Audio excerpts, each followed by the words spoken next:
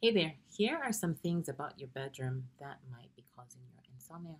Number one, the temperature is too hot or too cold. You do not have to freeze yourself out when you're trying to sleep. And you also don't need to burn yourself when you're trying to sleep. Just set your thermostat to a cool temperature so that your body can feel comfortable and relaxed. Another thing is that maybe your sheets just don't feel comfortable. So, invest in some sheets that feel soft, that are breathable, so that they don't feel icky and sweaty, because you can't sleep if you're icky and sweaty. Another thing is your pajamas. What are you wearing to sleep? Is it soft? Is it breathable? Is it clean? Does it smell good? That is very important. Don't just plop into bed in your day clothes because nobody wants to sleep in jeans. Jeans just aren't comfortable for sleep. Some people can, but a lot of people cannot.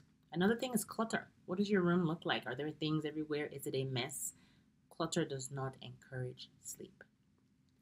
Smell. How does your room smell? It's important from time to time, depending on where you live, to air out your bedroom so that it smells fresh. Fresh. Nobody wants to sleep in a bedroom that smells like body odor or funk. So air out your bedroom or use some candles or something that just smells good and clean. And then the last one is your sleep environment looks ugly. I said it. If your sleep environment just doesn't feel welcoming to you, chances are it doesn't feel very welcoming to your body, and it is hard to relax in an environment that doesn't feel welcoming.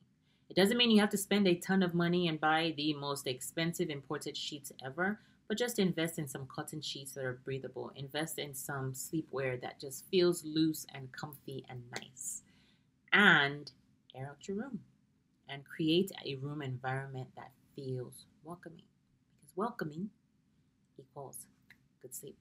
I hope you have happy sleep. Bye.